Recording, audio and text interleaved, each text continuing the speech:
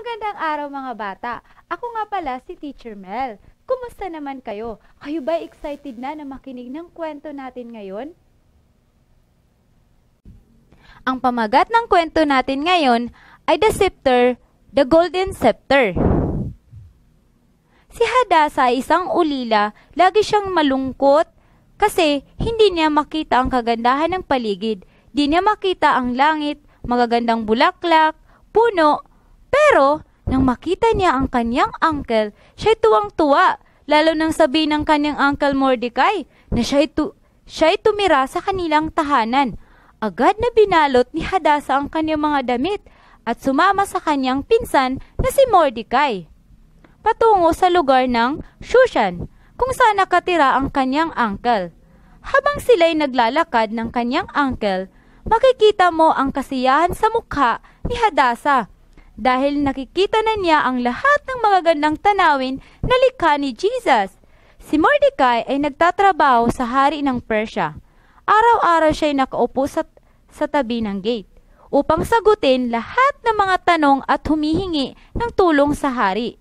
Minsan, si Hadas ay tumutungo doon sa kanya upang dalhan ng pagkain.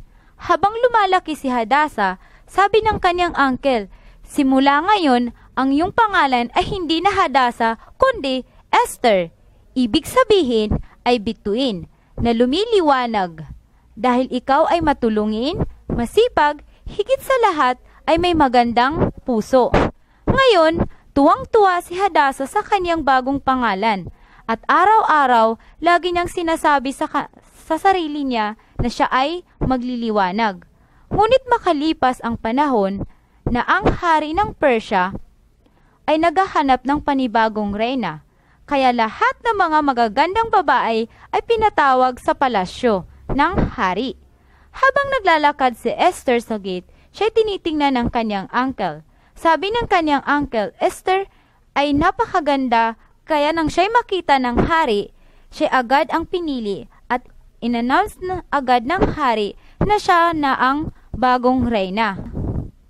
At tinanghal na si Esther bilang Reyna. Hindi na niya makas ngunit hindi na niya makasama sa pagsamba ang kanyang uncle. Pero nakikita pa rin niya sa kanyang bintana.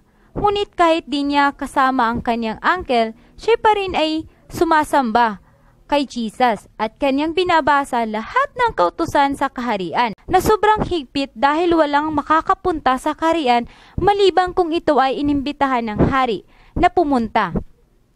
At kung sino man ang pumunta na walang paanyaya ay papatayin. Ngunit may isang pangyayari sa lupain ng Persya na ang lahat ng di sumamba sa Diyos, ito ay papatayin. Ito ay kautusan ni Haman. Ito ay, pin, ito ay kautusan na pinatupad ni Haman. Nako, paano na kaya ang uncle ni Esther na si Mordecai at ang kanyang mga kasamahan? Sila ay mapapahamak sa bagong utos na pinatupad ni Haman.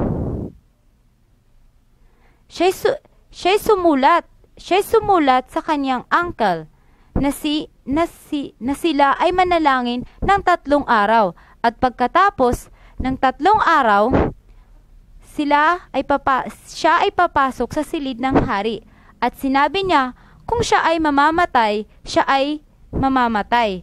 Pagkatapos ng tatlong araw na kanilang pananalangin, siya ay pumasok sa silid ng hari.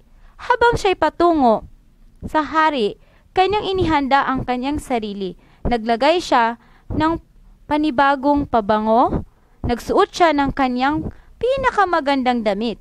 Habang siya'y papasok sa silid ng hari, inihanda niya ang kanyang sarili. Ngunit bago siya'y pumasok, nanalangin muli siya at, at lang at ang kanyang kasamahan. Sabi ng hari, sino yung gustong pumasok? Na hindi naman inimbitahan. Nang sabihin ng hari sa, sa mga alagad na paalisin laking tuwa niya nang makita nang makita si, Est, si Reina Esther at sinabi ng hari, ano ang iyong gusto? Lahat ng iyong lahat ng iyong gusto ay aking ipagkakaloob. Hindi, hindi muna sinabi ni Esther ang kanyang sadya sa hari, kundi inanyahan ito ng isang hapunan.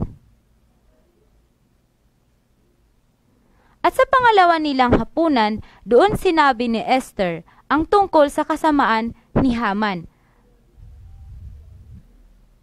Kaya pinatay si Haman sa sarili, sarili niyang poste na pina, pinagawa at ma, at at muli silang nanalangin upang magpasalamat sa Panginoon na sila ay niligtas sa kapahamakan. Alam niyo ba mga bata, wala na ngayon si Haman sa mundo na to. Siya ay pinatay na. Ngunit kahit patay na si Haman, ang master ni Haman, siya pa rin ay patuloy na nabubuhay dito sa lupa at patuloy siyang gumagawa ng kasamaan. Kasamaan laban sa atin. Kaya kinakailangan natin na isubmit natin ang ating sarili sa Panginoon. Sabi nga sa James 4 verse 7, Submit to God, resist the devil, and he, and he will flee from you. Anong, yung unang punto natin ay dapat, anong gagawin natin? Dapat isubmit, na, isubmit to God, resist the devil, Satan flees. Kapag tayo ay humihingi o nananalangin at lumalapit tayo sa Panginoon, si Satanas ay lumalayo sa atin. Kaya wag nating hahayaan na ang mamumuhay o magkukontrol sa ating buhay ay si Satanas. Wag nating hahayaan. Dapat dapat lagi tayong lalapit sa Panginoon. 'Di ba? Kung gusto nyo na maging candidate for heaven, ay dapat sa ngayon pa lang ay atin tayo ay magpakabait at gumawa ng kabutihan. Huwag tayong makikinig sa bulong ng kaaway. Ang memory verse natin ngayon ay matatagpuan sa, sa James 4 verse 7. Submit to God, resist the devil, and he will flee from you. Submit to God, resist the devil, and he will flee from you.